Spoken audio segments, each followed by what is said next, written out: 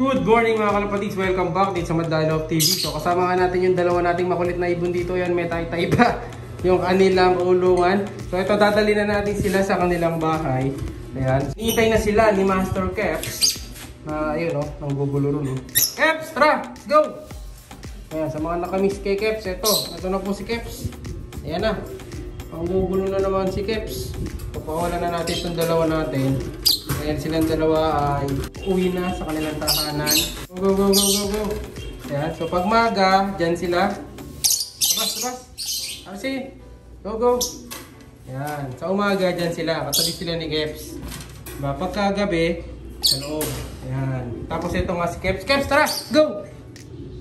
Let's go! Keps! Tara!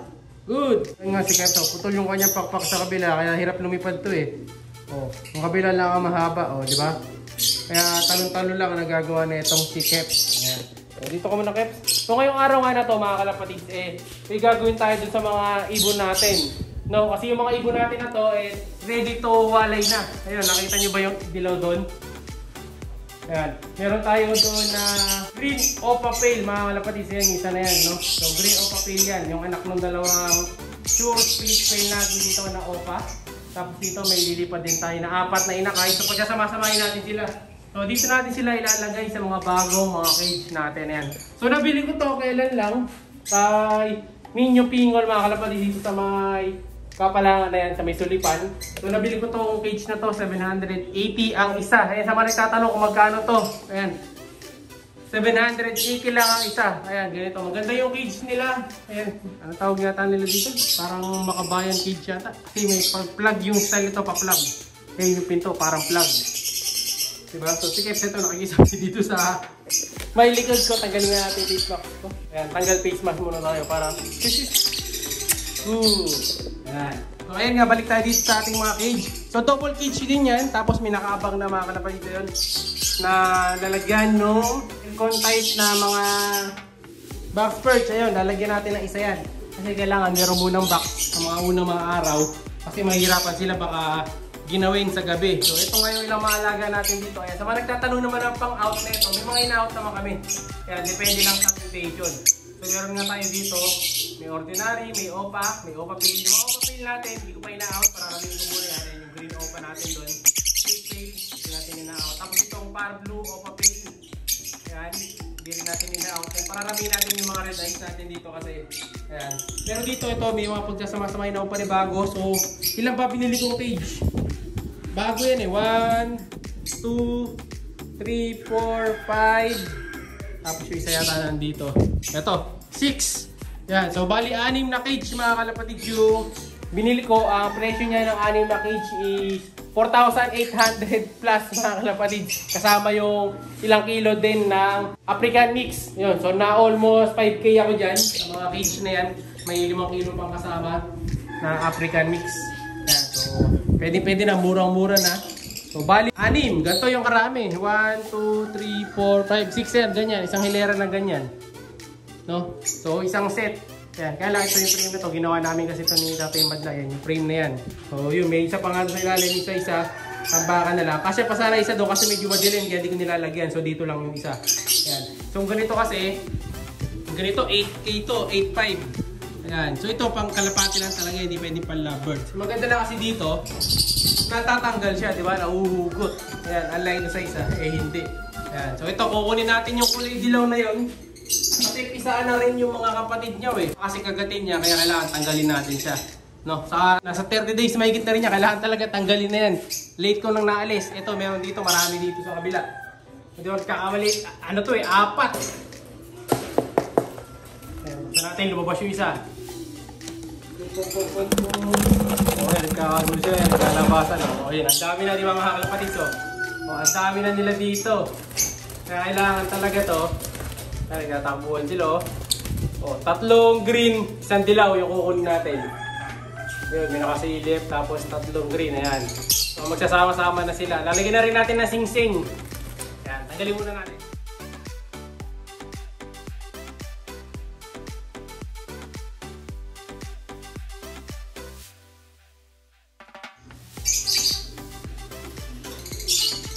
bird. Filipino tropa natin. Ayan. So ngayon, meron na tayo dito. 1, 2, 3, 4, 5. Limang ibon mga kalapatids. Ayan, sisingsingan naman natin sila. Nasingsingan na natin sila. So apat na lang to.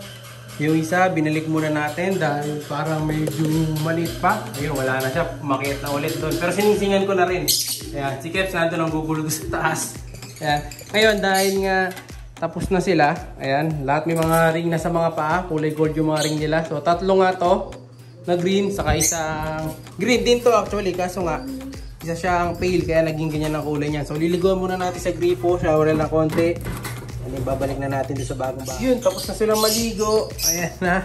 Diba? Sabi sa inyo, bagyang shower lang. Ayan, tapos papatayin muna natin ang electric fan. Tapos dito nga natin sila ibabahay. Ayan, dito na sila sa kabila. Ayan, tapos lalagyan na lang natin ng nest box. Ayan, tumutulo-tulo pa. Ayan, ganda na itong isa na to. Diba, pang malakas na yun. Magdalo TV yung mga suot nilang ring. So, pasok na natin. Okay, release na. Okay, pasok, pasok, pasok. Welcome sa bagong bahay. Yun, tayo muna na sila. Oh, oh may isa pa. Ako na. Yun, no? So, apat na yan mga kalapatids. Magsasama-sama na sila dyan. Diyan na sila titira. O, sakto. Ayan, no? Diba? Ah, ang cute. Ayan. So, pinapaliguan sila para di may stress. Ayan, para mawala yung stress na nakuha nila kanina sa paghuli natin sa kanila. Ayan. So, yung mga ring na rin yan, nakarecord na lahat yan. So, ito yung pamalakasan natin dyan yung isa. Dapat dalawa na to kaso namatay nga yung isa. Ayan. Uh, isa lang yung naging palabas natin. Yung oh. Diba? Sakto, sakto. Rare na rare. Ayos. Ayan, nalagyan na naman natin ng nest. Okay, nalagyan na natin ng nest box kaso napunta rito. Kasi pang side pala tong box nga pala natin. So pinagpalit ko, nilipat ko ulit doon yung mga tangkay-tangkay. Ayan. Yung ating perch. Kung sino lang magpainit sa loob, yan kanya giniginaw sila sa labas, pwede silang pumasok doon. Ayan. Pero ngayon, hindi pa magsisipasok yan dahil nakita nyo, basa pa sila. Pero pamaya maya matutuyo na rin yan. Eh, sikip, nanggugulo na naman to, no? Nangahabol na naman dun. Ayan, tapos lalagyan na rin natin ito ng mga painuminan. Ayan, para sa kanilang apat. Tapos ito, siningsingan ko na rin yung pang-give bird natin, yung isa. Ayan, no? Ayan, itong makulit na to, eh, may singsing na. Ready to ship na rin ito, mga kalapatid. Yan, natin. Ang hirap mamili kung kanino mapupunta to. Saka yung dyan sa kabila. Tapos yung albino natin, ayun. Ayan, susuotan silang dalawa dyan. Ayan, kalbasin natin. Ayan yung albino natin. Mahaba pa rin yung tuka. So, inuunti-unti ko lang kinakayas natin. Ayan, para mawala yung tuka niya. Yung tuka niya sa ilalim na putol na natin eh. Sa ibabaw na lang. Ayan, kasi baka mahirapan, baka ma-stress, mamatay. Kaya iniingatan natin. Ayan. Tapos, yung iba na dito, ito sila kasi Jesus. Tingnan na nga natin to kung may. Eh, hindi na pala si Oso yan. Iba na yan. Jesus na lang yan. Pinagiwalay na natin yung Oso pair natin. Tingnan natin kung may itlog na. Parang wala pa. Ayan, wala, wala, wala pang itlog. Paitlog pa lang siguro to. Ayan, puno-puno na ng salay yung kanilang pugan. Yun. Pero sa kabila, ayan, wala na silang anak. Isa na lang natira dyan, yung dilaw na lang. Kaya ilang ano na lang din, iitlog na rin yan. Mabilis na lang, saglit na lang yan. Ayan. Tapos dito, yung iba, ito may pinagpaparis pa nga ako dito. Hindi pa nagpaparis yung mga pinagpaparis ko. Dito, ito, nandito yung isa pang giveaway natin yung nasa dulo. Ayan, yung mga kaparis na itong isa. Ayan, kaya abang-abang na sa mga parapol natin. So ayusin ko muna to. Kaya pag-iwa-iwalay natin. O, diba? Ang dami na rin natin kids dito. Yung iba dito, puro sa lovebirds. Tapos ito nga, oh, sa kalapate, nagdagdag din tayo. Ayan, nagparis pa ako ng bagong mga kalapate. Ayan. Kaya marami tayong hybrid. Ang dami nating bagong mga singsing na naman. Pinakuha na naman tayo sa UFC. O ito wala pang laman. Pero lalagyan ko na to ng isa pa. Isang paris pa dito. Pwede pang ilagay dito sa ibabaw. Ayan. Pipili na lang ako sa likod dito kung sino i-breed natin. Ayan. Sino kaya pwede nating i-breed dito. Ayan. Sa kak kasi wala pa ako mahugot na kak. Puro lugon eh. Pero bala ko dito, pula sa pula. At ayan, ito si Barak. Si Barak hindi pa natin mapares to sa bago niyang kapares na itim. Dahil nga lugon eh, no? Ito nyo, nakakalbo si Barak. Hindi pa pwede kay Barak. No? Kaya hanap tayo ng iba. So baka si R1 muna. Ayan, ito, si R1 tapos na lugon eh. Pili na lang tayo ng mga kapares si R1. Si Karawang pwede rin. Pero ito si Bugbog nga, di rin pwede si Bugbog. Lagi na yung lugon din. Halos walang leg yung mga breeder natin dito. Ayan, yung off color na yun, pwede rin. Ito na naman si Barak, gugulo na naman. Sumasakay-sakay na naman dito sa camera yan. Eh. Talagang napakakulit. Sakit pa naman manuka na ito. Grabe. Kalapati ito. Galit na galit eh. Uy, doon ka na nga. Diyan ka na nga. Diyan ka na nga. So kung si R1 ulit ang paparis natin, ayan, pipili tayo ng isa mga kaparis niya dito. Si R2 di pa pwede. Kukuha natin si R1 dito. Sino kaya po pwede na papares? Pula. Baka yung pula na lang din na yun mga kalapatid. Yan yung pula na yun. Ito kasi nakaparis na niya to, inanay niya. Yung breed na natin eh. Kaya kukuha na lang tayo ng isa. Ito baka dito sa isang pula. Ayan. Para pula sa pula. Subukan natin yung pula sa pula. Subukan natin kung maganda yung kalalabasan. Ayan.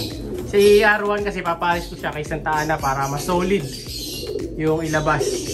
Ayan. Diba?